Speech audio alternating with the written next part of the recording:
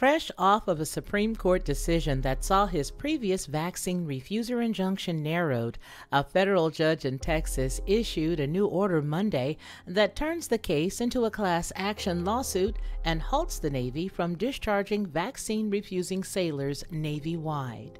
In January, U.S. District Judge Reed O'Connor told the Navy that it could not discipline or discharge 35 sailors, mostly Navy SEALs, who were suing over their religious exemption denials. That order was upheld by the Fifth Circuit Court of Appeals, yet the Supreme Court disagreed in part and ruled that while the special operators couldn't be discharged, the Navy was allowed to use their vaccination status to make operational and deployment decisions. Well, that was on Friday.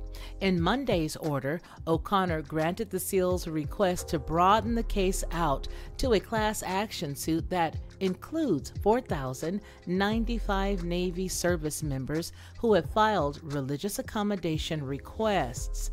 That request was filed in January according to court records. Without relief, each service member faces the threat of discharge and consequences that accompany it. O'Connor wrote in his order. He added, even though their personal circumstances may factually differ in small ways, the threat is the same get the jab or lose your job.